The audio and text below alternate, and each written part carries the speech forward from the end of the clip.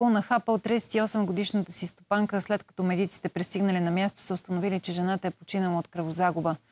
Повече за фаталния инцидент и как се стига до подобен тип агресия от собствения ни домашен любимец ще научим сега от Емил Дамянов. Емо, здравей!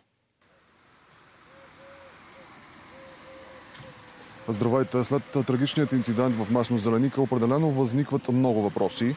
От това защо кучето е станало толкова агресивно, че да нахапе до смърт 37 годишната жена, която го отглежда, до това какво казва законодателството в България, когато говорим за тази порода. За да коментираме темата, тук при мен е Радослав Драгнев, експерт и треньор на кучета. Здравейте! Здравейте!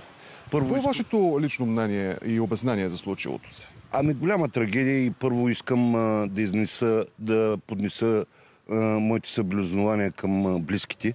Това е много голяма лична трагедия, но а, за мен нещата, като човек, който се занимава като дресьор, нещата са много сериозни.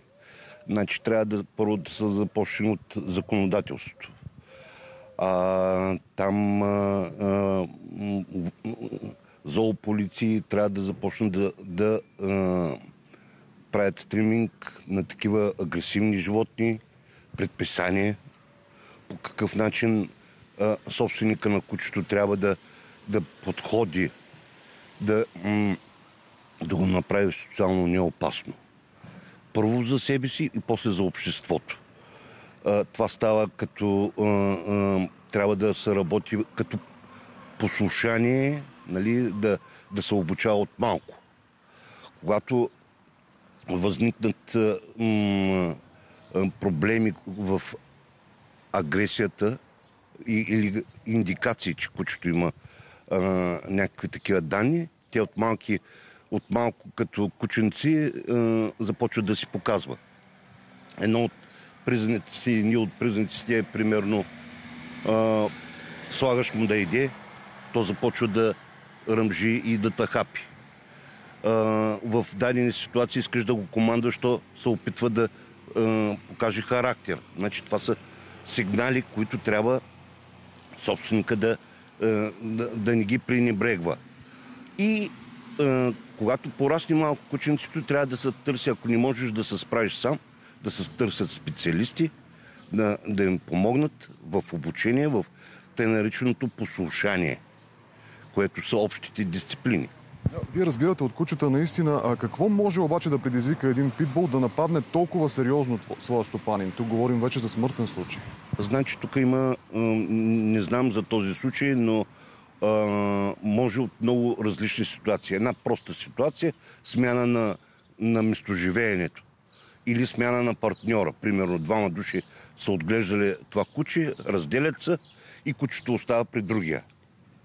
То тъжи или пък провокация, както питболитите. Това е куче гладиатор, което е, селекцията му е направена да, да се бие с други кучета.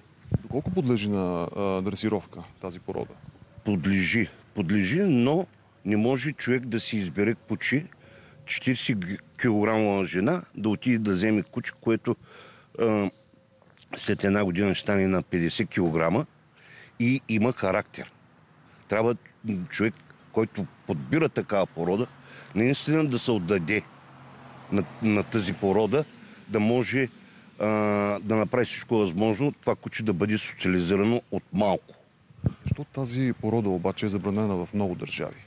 Защото не могат да се справят а, собствениците с тях.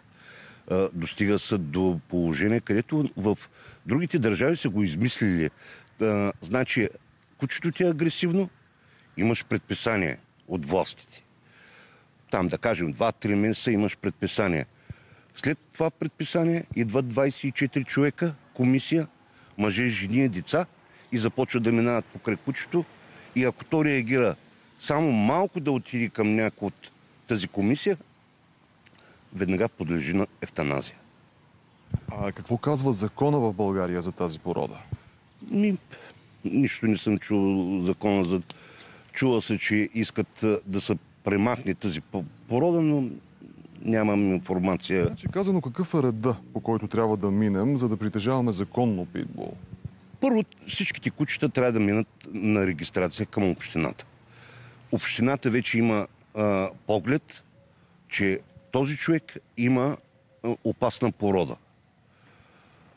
С- Определените хора от държавата трябва да се интересуват и там и обществото е много важно. Нали? Като видиш, че съседното куче е агресивно, трябва да съобщиш. И оттам нататък трябва държавата да има повече рестрикции към тази порода. Ако искаш да имаш такава порода, ще трябва да преминеш през обучение, много курсови за послушание, за а, социализация и така нататък. В конкретния случай как мислите? Имало ли е обучение? Не мога да кажа, нямам никаква представа, но за да се стигне до този а, край, значи има някъде пропуски в а, отглеждането, в а, обучението на самото куче и в цялостното му, а, целия му подход като бойно куче. Казвате, че определено не всеки може да отглежда такава порода. Ами да, сега а, те по-скоро са агресивни към а, а, други кучета, но аз в моята си практика имам страшно много кучета, които съм обучавал питбули, за питбули говорим, които са много агресивни и към хора. Но тази порода е, не може всеки да, да я взима да я гледа, защото е сложно куче, трудно куче. Сложно куче, наистина. Благодаря ви. Това е за сега от тук. Разследването по случая продължава. Лора, обратно към теб. Благодарим ти, Емо, за тази информация. Още в новините, уважаеми зрители, гледайте. Сега отиваме към българското